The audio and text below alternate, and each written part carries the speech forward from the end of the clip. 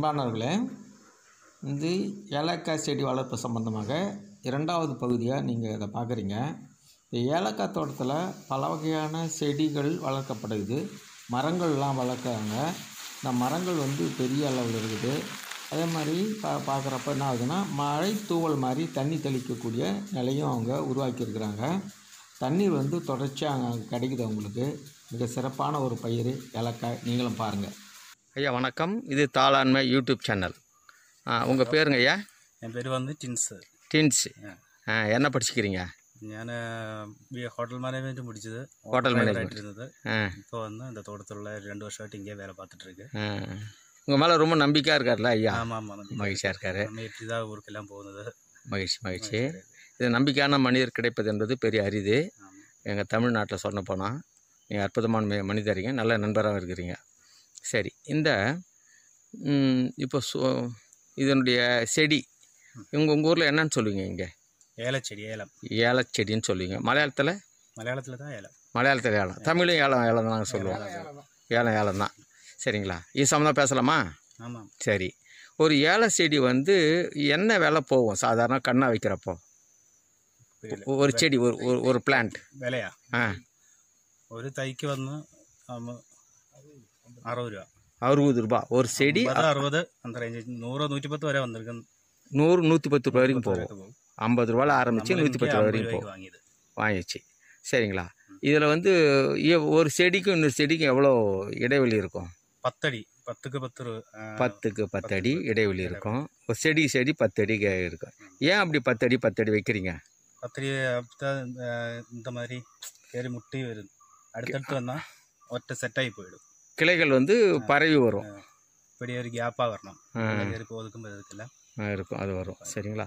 இது வந்து செடி வச்சுறீங்க ஐம்பது ரூபாந்து நூறுரூவா கொடுத்து வாங்குறீங்க. இது எப்போ காய்க்க ஆரம்பிக்கும்? காய்க்க ஒன்றரை வருஷம்.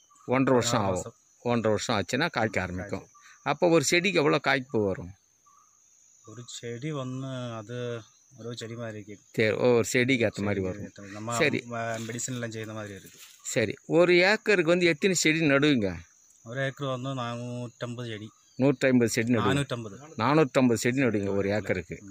சரிங்களா? நானூற்றம்பது செடி குறைஞ்சபட்சம் எவ்வளோ கிலோ கிடைக்கும் சாதாரண ஒரு வருஷத்தில்? மூணு ரெண்டு வருஷத்துக்கும் கழிச்சு.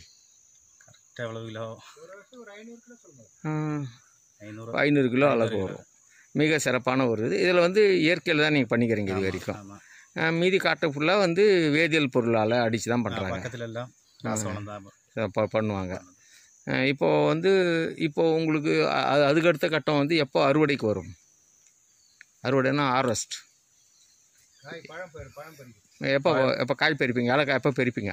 പറിക്കുന്ന ഫസ്റ്റ് കായ ഉണ്ടായ അമ്പത് ദിവസം അമ്പത്തഞ്ച് ദിവസം ആകുമ്പോഴത്തേനും പ- പഴുത്തിടും അമ്പത് നാളേക്ക് അമ്പത് നാളേക്ക് ஆ, കായ എടുത്തിട്ട് വരിക ஐம்பது நாளைக்கு നാൽപ്പത്തഞ്ച് ஒரு അമ്പത് നാള് நாற்பத்தி ஐம்பது நாளுக்கு ஒரு முறை காய் பறிப்பாங்க ஆ, ஒரு ஆள் வந்து எவ்வளோ காய் பறிக்கும் ഒരാൾ വന്ന് எத்தனை பெட்டி മൂന്ന് പെട്ടി மூணு பெட்டி பறிக்கும் ஒரு பெட்டி எவ்வளோ ഇരുപത്തൊന്ന് கிலோ ഇരുപത്തൊന്ന് കിലോ കായ എടുക്കുക ഒരു പെട്ടി ഏഴ് കിലോ ஒரு பெட்டி ஏழு கிலோ மூணு கிலோ எடுக்கும் ஒரு ஆள் മൂന്ന് പെട്ടി എടുക്കുക അതായത് ഇരുപത്തൊന്ന് കിലോ എടുക്കും இருபத்தொன்று கிலோ எடுக்கும் ആവറേജ് ഇരുപത്തൊന്ന് കിലോ சரி எடுத்த பிறகு என்ன பண்ணுவீங்க இதை ഇത് കാർഡും സ്റ്റോർ ഇருக்கு இது ஸ்டோரில் நம்ம கொண்டு போட்டு உணக்கி எடுத்துடும் ட்ரை பண்ணி ட்ரை பண்ணி ட்ரை பண்ணி எடுப்பீங்க. ட்ரை பண்ண பிறகு தான் இது வேல்யூவாக இருக்கும் அது. ட்ரை பண்ணால் നമ്മൾ அஞ்சு கிலோ கொடுத்தா ஒரு கிலோ உனக்கு கிடைக்கும்.